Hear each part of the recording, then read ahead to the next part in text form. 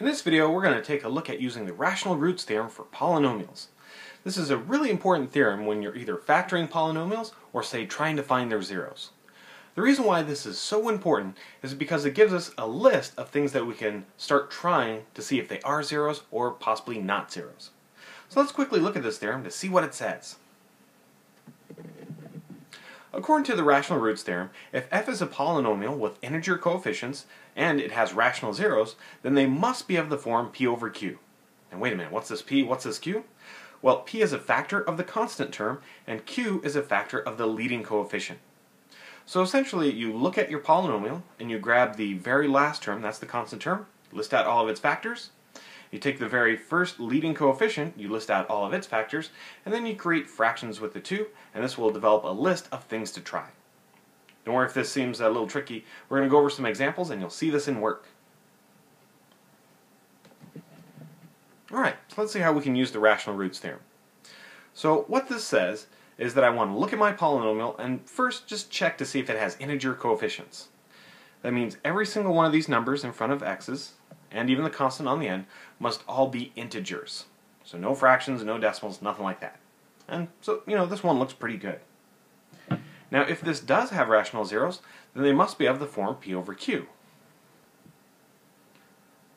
We'll use our 2 on the end to form our factors of p, and we'll use our 6 at the beginning to use our factors of q. So factors of p factors of q. Alright, so let's just list out everything that could divide evenly into 2. Well, there's not a whole lot. Uh, 1 could go in there, and also 2. So those are the only two things that divide evenly into 2.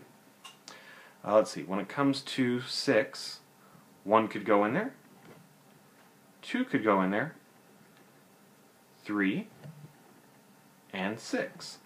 So there's a lot more things that could go into Q. Also, you want to consider uh, the positive and the negative values of each of these. I tend not to worry about these until I actually start building my fractions, but it is good to note them now. Alright. Now that you've listed out the factors of p and the factors of q, you want to start listing out your possible rational zeros. That's where you start making fractions out of these things possible, rational, zeros. Alright, so I like to take one of these numbers at a time, create fractions with all the rest, grab the next number, do fractions with all the rest. Let's see what happens. So 1 divided by 1 is 1. 1 divided by 2 is a 1 half. 1 divided by 3, 1 third, and 1 divided by 6, 1 6. So here I have 2, 4, 6, 8 possible rational zeros, and I'm going to develop a few more. Now we'll take the 2 and put it over all of these numbers. So 2 over 1 2. 2 over 2 is 1, and we already have that listed, so we won't list it twice. Uh, 2 over 3 is 2 thirds. And 2 over 6 is 1 half. So it looks like I have a list of uh, 2, 4, 6, 8, 10, 12 possible rational zeros uh, that I could then start trying to divide in here to see if any of them really are zeros. Alright, let's go ahead and look at another example, uh, just to make sure you have this process down. Okay, so for this one, we're looking at 8x to the fourth plus 2x cubed plus 5x squared minus 4x minus 3. Remember to develop your factors uh, from your constant term on the end and your factors from the leading coefficient.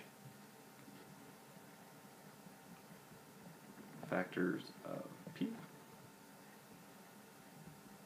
Factors of q and want to list out everything that could divide into these. So for p, plus minus 1, and looks like plus minus 3, those are the only two things that will divide into 3 evenly.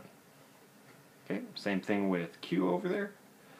Plus minus, uh, 1, plus minus 2, plus minus 4, and plus minus 8. So I think that covers everything that will divide into 8. Now let's create some fractions.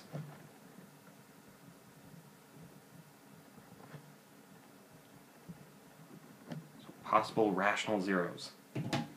Alright, starting with a 1. 1 divided by 1, 1. 1 divided by 2, 1 half. 1 divided by 4, 1 fourth. 1 divided by 8, 1 eighth. Perfect. Now we'll do the same thing for the 3. Take it over all of these. So 3 over 1 is 3. 3 over 2. 3 over 4. And 3 over 8. So this one gave us a bunch more uh, possible rational zeros.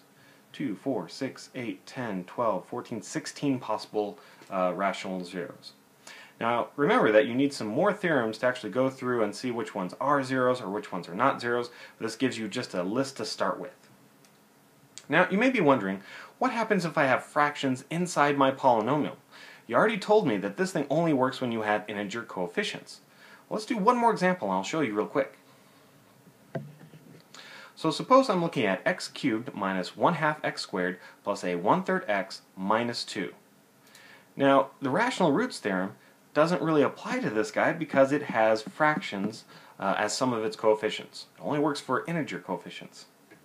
Well, to get around something like this, you want to find the lowest common denominator of all of the fractions present. So let's say I got a 2 and a, a, a 3. So I'm going to say that my lowest common denominator is 6.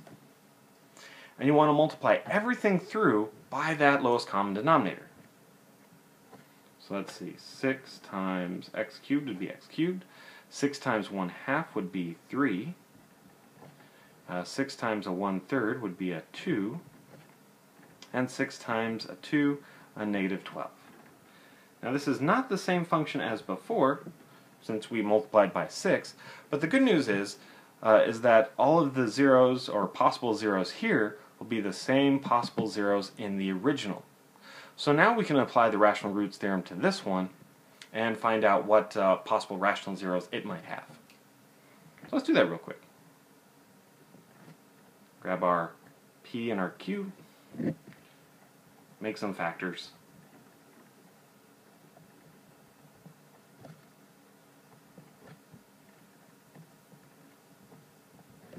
Starting with p, lots of different things that could go into p.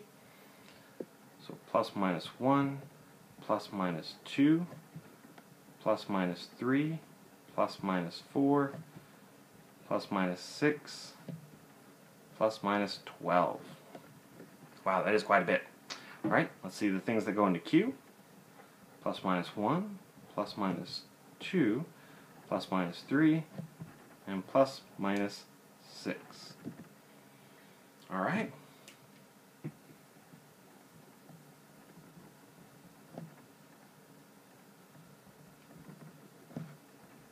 Possible factors, we have lots and lots of fractions to make. So you'll take each one of these and put it over each one of these. Plus minus 1, 1 over 1. Plus minus 1 half. Plus minus a third. Plus minus a sixth. Alright, so I've taken the 1, put it over all of these 4. Now I move on to the 2. 2 over 1 plus minus 2 2 over 2 is 1, so I already have that. Plus minus 2 thirds. And 2 over 6 is the same as 1 third. I already have that one as well. Uh, so now I can go on to the 3. So 3 over 1. 3 over 2. 3 over 3 is 1. And 3 over 6 is 1 half. Both of those I have onto the 4. 4 over 2 is 2. Then I have 4 thirds. 4 over 6 is 2 thirds. I already have it. On to the 6. 6 over 2 is 3. 6 over 3 is 2, and 6 over 6 is 1. I have those ones. On to the 12s. 12 over 1.